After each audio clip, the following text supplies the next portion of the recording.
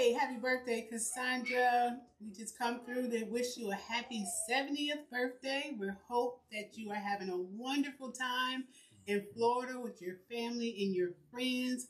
We had to stop by on this special day to wish you a happy birthday. Yep, it's your sweet 16th birthday, and I hope you have a grand time.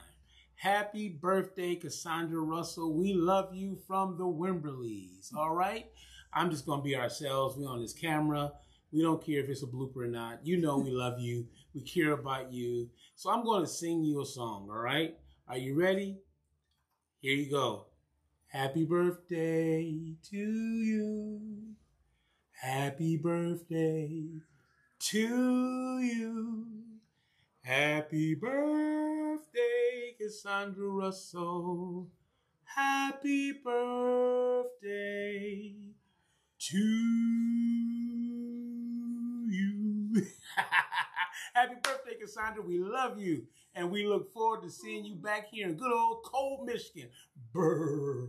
Love you. Love you. Take care.